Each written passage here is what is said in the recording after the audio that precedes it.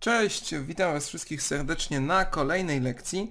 Dzisiejszym naszym tematem będzie sytuacja na ziemiach polskich w latach 1831-1846, czyli po powstaniu listopadowym aż do zbliżającej się e, wielkimi krokami wiosny ludów.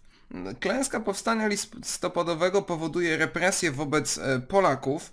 E, władze ogłaszają wprawdzie amnestię, ale wyłączają z niej Polaków uznanych za inspiratorów, a także przywódców y, powstania, y, ponieważ większość y, z Polaków opuszcza wcześniej kraj, wytoczono im procesy tak zwane zaoczne i skazano ich na karę śmierci, czyli za bardzo e, wracać nie było co. E, pozostałych zesłano na wiele lat na Syberię najczęściej, znaczy w głąb Rosji, głównie na te azjatyckie części, ale najczęściej była to Syberia. Za to ich majątki rozdawano, konfiskowano, później rozdawano e, często zdrajcom albo nowo przybyłym Rosjanom rosyjskim urzędnikom, którzy zajmowali miejsca Polaków.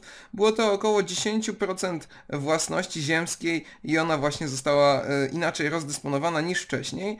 E, żołnierze za to e, powstańczej armii byli karnie wcielani na 10 lat do carskiego wojska i wysyłano je najczęściej na azjatyckie rejony Rosji. Tam na przykład tłumili walkę niepodległościową ludności Kaukazu. Tych, którzy odmówili złożenia przysięgi obowiązkowej zresztą w armii rosyjskiej na wierność carowi, często katowano kijami zgodnie z regulaminem. Oczywiście katowano ich e, zazwyczaj na śmierć. E, w głąb Rosji wywieziono także 800 dzieci. Były to sieroty po polskich żołnierzach. Mam nawet obraz, możecie sobie zobaczyć w internecie, kiedy Rosjanie zabierają e, sieroty po żołnierzach. Pomimo, że krewni chcieli nad nimi otoczy, chcieli nad nimi przejąć opiekę, nie pozwolono im. Wywieziono je w głąb Rosji i tam poddano rusyfikacji w rosyjskich szkołach wojskowych, a na samo Królestwo Polskie politycznie nałożono kontrybucję w wysokości 22 milionów rubli. Ona miała rzekomo pokryć straty, jakie Rosja poniosła w trakcie walk z Królestwem Polskim. E, dla cara Mikołaja I powstanie listopadowe to tak naprawdę był świetny pretekst, żeby odejść od dawnej polityki i wreszcie zlikwidować ten twór, który utworzył e, jego brat, a zarazem poprzednik Aleksander I. E, I on uznał konstytucję w 1815 roku za już nieważną i w 1832 nadał nową, tak zwany statut organiczny. Nowa ustawa zasadnicza, statut organiczny. 1832, statut organiczny statut organiczny. On sam w sobie był już dla Polaków fatalny w porównaniu do ostatniej konstytucji, nawet mimo, że była łamana, to tak źle jeszcze nie było. On znosił Sejm i wojsko, które symbolizowały tak naprawdę niezależność tego Królestwa Polskiego. E, zachował co prawda odrębny skarb, administrację, e, prawo i e, język urzędowy został pozostawiony polski, ale szybko to ograniczono, wprowadzając stan wyjątkowy, który zawieszał, zawieszał prawnie działanie statutu organicznego i w zasadzie ten stan wyjątkowy utrzymywał się aż do początku XX wieku z jakimiś tam przerwami. E, władze rosyjskie e, w zasadzie wydały ten statut organiczny tylko po to, żeby uspokoić trochę zachodnią opinię publiczną, e, która była no, zaciekawiona trochę tą sprawą polską, co się tam dzieje. E, wprowadzono rosyjski podział administracyjny na gubernię w Królestwie Polskim, dostosowano też polskie prawo do, ros e, do rosyjskiego, narzucono obowiązujący w Rosji system miar, wag, system monetarny. E, samo istnienie polskiego szkolnictwa car uznał za przyczynę powstań i dlatego postanowił całkowicie zlikwidować, ograniczyć, dlatego zamknął też Uniwersytet Warszawski, z czasem wszystkie gimnazja humanistyczne, zlikwidował też Towarzystwo Przyjaciół Nauk, a zbiory biblioteczne państwowe i prywatne nakazał wywieźć do Rosji. E, samo wykształcenie pozostało w możliwości Polaków tylko i wyłącznie w Rosji, gdzie, gdzie tak miejsca były dla nich bardzo ograniczone, e, a w zasadzie wiązało się to z intensywną rusyfikacją. Represje poniósł także Kościół katolicki, któremu utrudniano e, kontakty ze stolicą apostolską, utrudniano budowę kościołów, klasztorów, niszczono także mm, czasem jakieś mniejsze budynki sakralne, albo nie zezwalano na ich renowację zakony zostały pozbawione prawa do prowadzenia działalności tej edukacyjnej, oświatowej. E, za to władze popierały e, ekspansję kościoła prawosławnego na ziemiach Polski. E, wprowadziły pobór do armii rosyjskiej, E, Służba wojskowa trwała wtedy 25 lat, rusyfikacja w niej była bardzo intensywna, była brutalna dyscyplina, gnębiono przede wszystkim nowo przyjętych żołnierzy, a już szczególnie, że byli e, Polakami, e, co było oczywiście rzeczą e, okropną dla wielu młodych e, Polaków. Samą władzę w królestwie e, otrzymuje zdobywca Warszawy, feldmarszałek Iwan Paskiewicz, którego widzimy tu na obrazie. On przejmuje władzę nad Warszawą. On, y, on tutaj sprawował porządek w królestwie 100-tysięczną armią rosyjską, rozbudowaną tajną y, policją. E, Za pieniądze z kontrybucji władze zbudowały tak zwaną Cytadelę Warszawską, która stała się symbolem uciemiężenia Polaków. Tam zsyłano wielu skazańców politycznych i ona miała być takim symbolem i przestrogą dla Polaków, że więcej się buntować nie mają. W niej były y, działa nawet rosyjskie, które miały być przeznaczone do ewentualnego tłumienia powstań. Okres ten rządów Paskie, y, Paskiewicza od 1831 do 1856, y, który miał taki właśnie bardzo represyjny charakter, nazywamy też Nocą Paskiewiczowską. 1831 y, 1856 mamy Noc Paskiewiczowską. Noc Paskiewiczowską. Gorzej było za to na ziemiach zabranych, czyli ziemiach, e, które nie podlegały pod Królestwo Polskie, zostały wcielone od razu do Rosji już wcześniej, czyli Litwa, Białoruś czy też Ukraina, tam nie obowiązywała amnestia carska. E, Powstańcom konfiskowano majątki, skazywano ich na wieloletnie więzienie w jakichś twierdzach lub katorgę, zsyłano ich do syberyjskich kopalń. Same władze rosyjskie dążyły też do odpolonizowania tych ziem. E, Przynajmniej 45 tysięcy polskich rodzin zesłano w głąb Rosji. Zlikwidowano też polskie szkolnictwo, Uniwersytet Wileński, liceum w Krzemieńcu. E, Kościół unicki został włączony przemocą do kościoła prawosławnego, kościół unicki, który tam panował. E, Wiernych próbujących e, bronić jakoś swojej wiary mordowano od razu, czasem palono żywcem w świątyniach, których oni właśnie nie chcieli opuścić. Mimo tych prześladowań jednak kościół ten trwał w konspiracji, za to kościół katolicki na ziemiach zabranych także poddano represjom, między innymi likwidując większość obecnych tam zak zakonów. Jeśli chodzi o zabór pruski, Wielkopolanie, którzy licznie e, wystąpili w powstaniu listopadowym, pokazał Prusom, że e, nie da się z nich uczynić jakichś mieszkańców Wielkiego Księstwa Poznańskiego, e, czyli nie, nie można z nich zrobić Prusaków mówiących po polsku, tak jak to chcieli dokonać. I już w 1830 roku zlikwidowany zostaje urząd namiestnika, w miejsce którego jest nowe stanowisko naczelnego prezesa, jak to brzmi tak dość śmiesznie, naczelny prezes, stanowisko to obejmuje urzędnik Edward F- e, Flotwell. E, Jego rządów, e, okres jego rządów nazywamy z kolei nocą fl, e, flotwellowską. Zresztą napiszmy sobie Edward. Edward Flotwell. Od niego mamy noc flotwellowską. Okres przypada z kolei na lata 1830 1840 to jest okres jego rządów jako właśnie tego naczelnego prezesa, noc flotwellowska. E, On uczestników powstania, osoby jakoś z nim związane i popierające je więzio, e, więził w twierdzach, nakładał kary pieniężne, konfiskował im majątki. Także germanizował urzędy, sądy, szkoły, wprowadził język niemiecki jako dominujący, e, podważał także jakieś znaczenie polskich rekrutów w armii podczas obowiązkowej trzyletniej służby, którą odbywali oni tak czy siak w pruskiej, w pruskiej armii. Os starał się także osłabić polskość przez likwidację wielu katolickich zakonów. E, Same władze pruskie przystąpiły do akcji osiedlania Niemców e, tutaj w tej okolicy e, Poznania. Rozpoczęły przekształcanie systemu prawnego, administracyjnego na wzór, jaki obowiązywał w Prusach. Ucisk ten dopiero się zmienia po 1840 roku, kiedy mamy nowego króla Fryderyka Wilhelma IV. On właśnie rządzi w latach 1840-1861.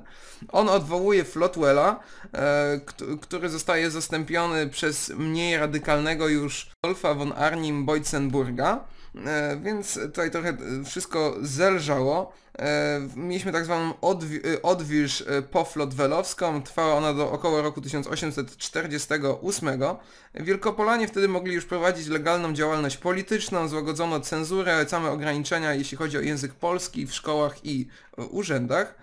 E, polską kulturę i tożsamość narodową starano się bardzo chronić e, w Wielkopolsce, szczególnie stosując legalne przedsięwzięcia, jakieś oświatowe, naukowe, kulturalne. I ten rodzaj działalności publicznej nazwano pracą organiczną.